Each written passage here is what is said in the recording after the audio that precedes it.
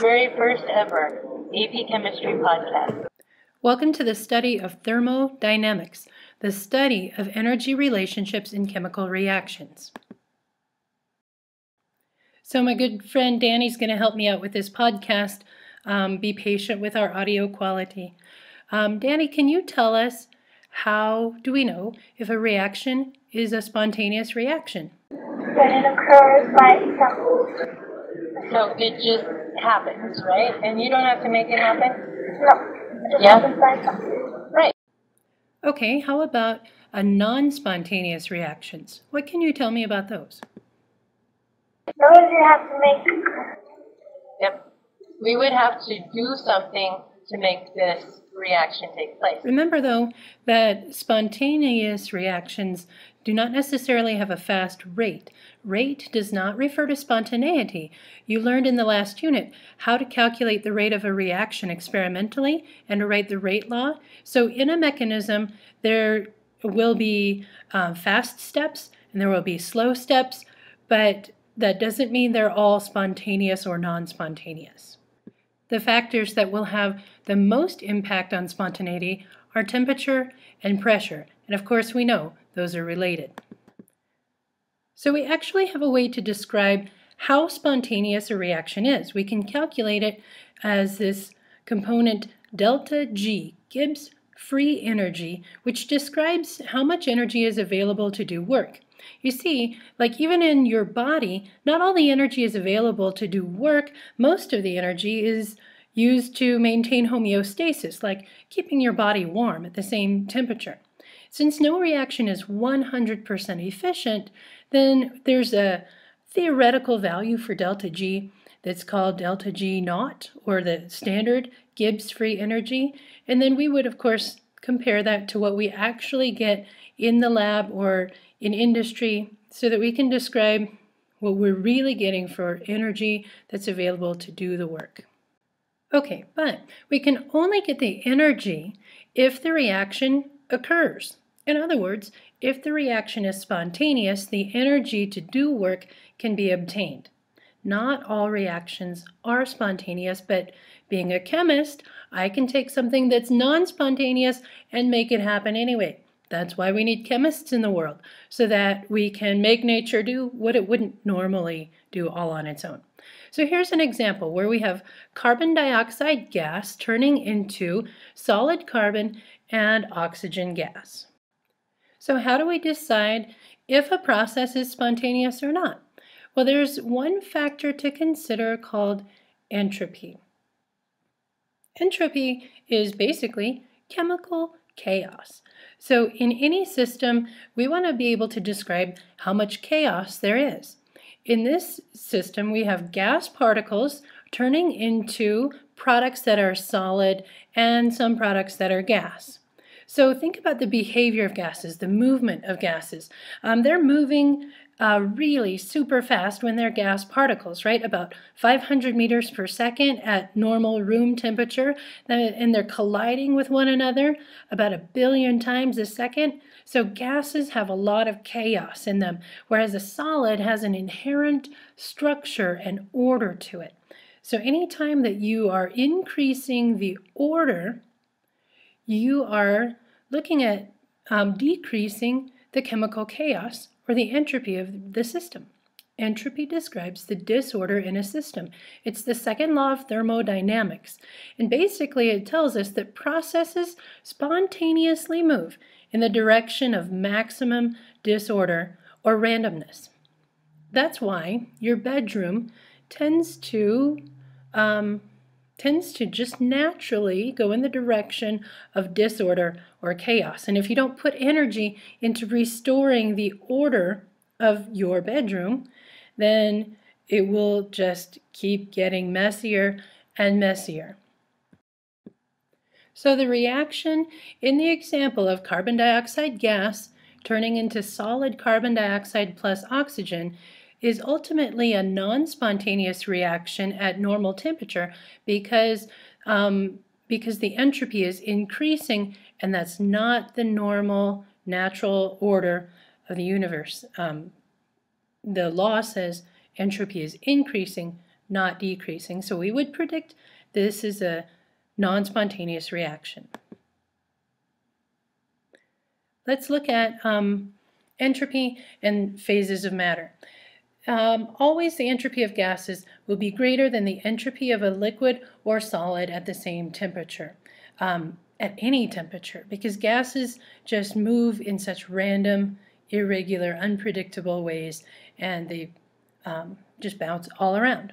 The entropy of a liquid is greater than the entropy of a solid for similar reasons. There's more kinetic energy in liquids, the particles move more, they're not locked into any given shape.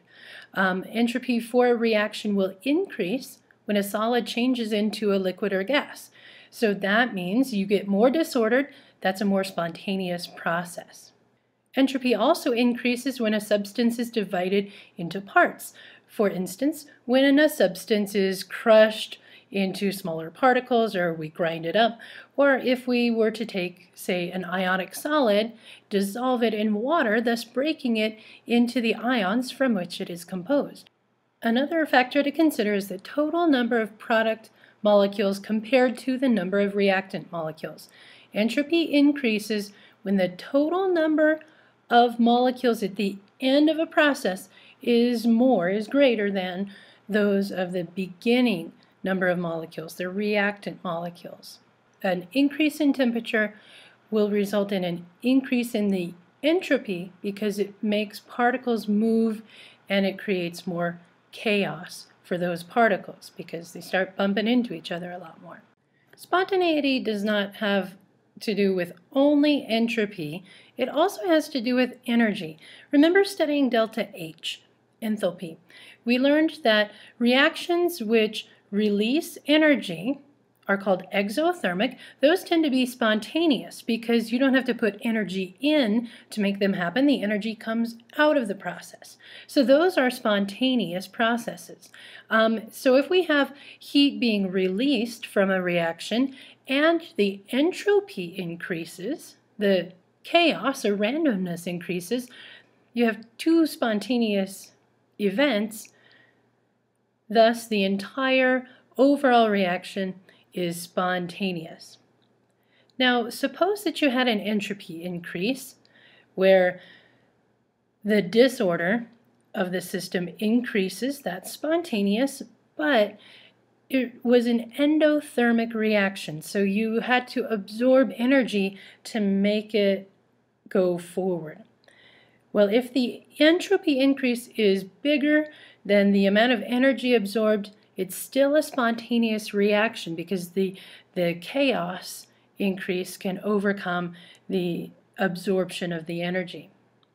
Now suppose that we do have an exothermic process that's spontaneous, releasing energy, but the entropy decreases, so our system gets more organized, which is non-spontaneous. Then if the en enthalpy wins out, the whole process is still spontaneous because of the heat. Now let's look at an example where heat is absorbed, endothermic, non-spontaneous. The entropy increase is not enough to overcome that energy being absorbed, so the reaction overall is considered non-spontaneous because there was not enough chaos to overcome the energy that had to be put in. Now what if we have a significant entropy decrease so that now that it's getting too organized, not enough chaos to be spontaneous, and the heat that's released in this exothermic reaction is just not enough to make the overall reaction spontaneous because it's exothermic, but not exothermic enough to push us into the positive side of spontaneity. Now there's a final process that we can look at where heat's absorbed, so an endothermic reaction would be non-spontaneous, and the entropy decreases, the system gets more organized, that's also non-spontaneous. So overall, the entire process is non-spontaneous. I want you to notice the size of the arrows here. At least in physics, the size of the arrow um, corresponds to the magnitude. The bigger the arrow, the more spontaneity or more non-spontaneous it is. So this is our biggest non-spontaneous arrow because both enthalpy and entropy are pointing in a non-spontaneous direction. So now let's look at the meaning of signs when we're um, investigating thermodynamic properties. Of course, with delta H, which we've already learned how to calculate in several different ways, a positive delta H is for an ecto, bleh, endothermic process. That means uh, you have to put energy in for the reaction to proceed. A negative sign would mean an exothermic process, so energy is released or energy comes out. So think about this from spontaneity. If you have to put energy into the process, that means it's necessarily non-spontaneous because you had to put energy in. You had to do something to make it go. In an exothermic reaction, the energy is released, so that would be spontaneous. For entropy, delta S, more disordered is a positive change in delta S. That means that the chaos is increasing. So delta S would be positive. Increasing chaos is a spontaneous process. So positive delta S is spontaneous. If it's more ordered, that means there's less chaos. When we organize things more, we have to put energy in to make that happen, right? So delta S is negative, and a negative delta S is non-spontaneous. So overall, our delta G represents spontaneity. If delta G is positive, the process is not spontaneous because a positive delta H would be not spontaneous and that usually has more of an influence than delta S. A spontaneous process for Gibbs free energy means energy is being released, so negative delta G is spontaneous. That's the way the signs work. So in this chart, we're just comparing magnitudes. If delta H is negative, delta S is positive, it's going to be spontaneous every single time. But if delta H is positive, which is endothermic, and delta S is positive, then it's only spontaneous if there's enough entropy to overcome the heat that's absorbed. So if we could have like a bigger positive sign for delta S and a smaller positive sign for delta H, that would be awesome. Spontaneous processes would be those where um, you have an exothermic process, and if the entropy is also negative, then your delta H has to be more negative than your delta S. It has to be a bigger value, otherwise it's not going to be spontaneous. Um, just like in the next row down, non-spontaneous processes are those in which it becomes so much organized, so much less randomness and disorder, that the heat change is not exothermic enough to balance it out. Then it would be non-spontaneous.